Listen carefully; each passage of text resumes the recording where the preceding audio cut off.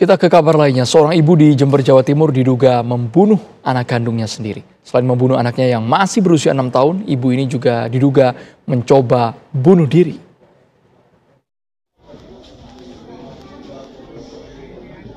Dusun Sumberlanas Barat, Desa Harjomulyo, Kecamatan Silo, Jember, Jawa Timur, mendadak geger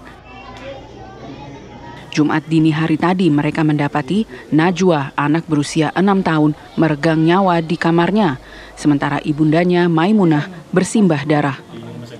Suara jeritan didengar ayah Najwa Muhammad Saleh yang meminta bantuan warga lain untuk mendobrak pintu kamar.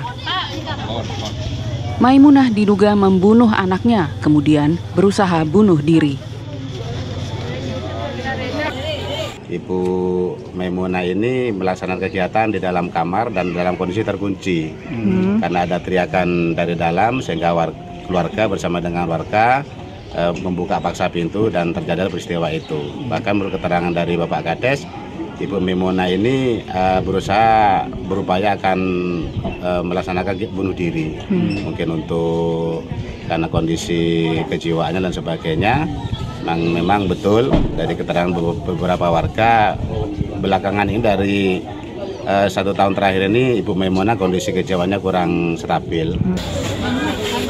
Maimunah sempat dibawa ke puskesmas. Kemudian karena lukanya parah, ia dirujuk ke Rumah Sakit Suban di Jember. Sementara itu polisi mendalami kejadian tersebut. Dari Jember, Jawa Timur, Sinto Sofiadin, TV One mengabarkan.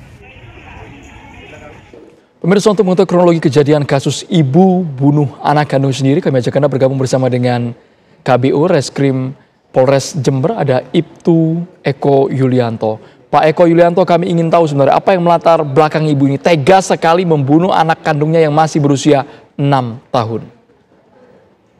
Terima kasih uh, Mas Andro atas uh, pertanyaannya yang mana polisi mendapatkan informasi tersebut. Selanjutnya melakukan tindakan-tindakan kepolisian berupa penyelidikan dan penyidikan. Didapati bahwa di titik KP ada dua korban. Dalam hal ini ada korban yang uh, sudah meninggal dan satunya uh, masih uh, kritis. Selanjutnya uh, dengan adanya itu kita melakukan percepatan quick respon untuk melakukan penyidikan ya. Apa-apa saja yang terjadi. Selanjutnya polisi telah uh, melakukan upaya-upaya hukum dengan menetapkan uh, apa apa mencari alat-alat bukti yang diduga kuat pelakunya adalah ibunya sendiri. Sementara itu. Saat pembunuhan terjadi, apakah di rumah tidak ada orang sama sekali, Pak Eko?